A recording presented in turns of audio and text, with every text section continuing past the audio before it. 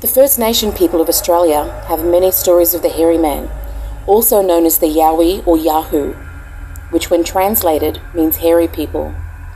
Records of their encounters with this creature are depicted on rock art, going back thousands of years.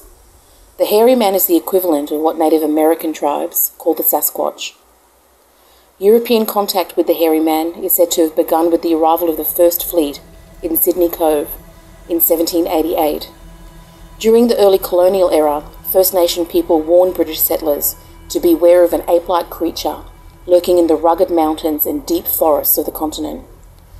One particular account told of an encounter in 1789 by convicts and a party of Marines while on a hunting trip.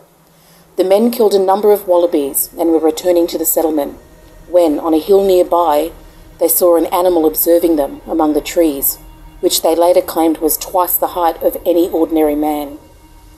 Another early sighting by Europeans was reported on Australia's Phillip Island in 1849.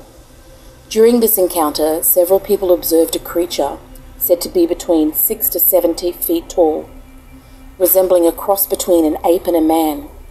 The creature was sitting at the edge of a stream and didn't notice the men.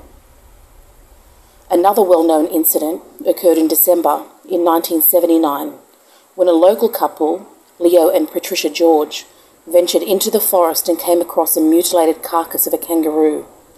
They claimed that the perpetrator was only 40 feet away and described the creature as being 10 feet tall and covered with hair. The creature stopped and stared at them before disappearing back into the bush. One story that was told to me by a friend of my sister's was that when he was 14 years old, he lived in North Queensland town of Townsville. He lived in an old Queenslander house a high set house with wide windows and louvers to catch the breeze. Under the house was a collection of old fridges and freezers. He remembered hearing something rummaging around in one of the fridges, apparently attracted by the smell of old food. When he went to investigate, he saw a hulking figure that moved with lightning speed away from the house.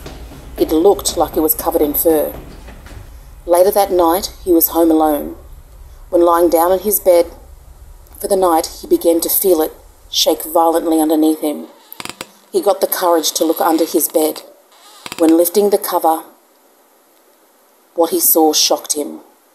There was a creature as long as his bed, covered in long brown hair, with its hands that gripped the upper bed legs.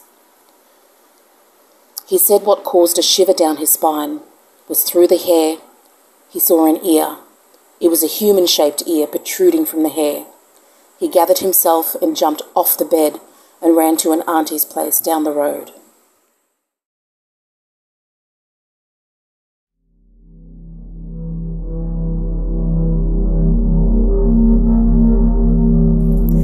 For watching. For more scary ghost, spirit, and creature videos, please subscribe to Ushi Yarns.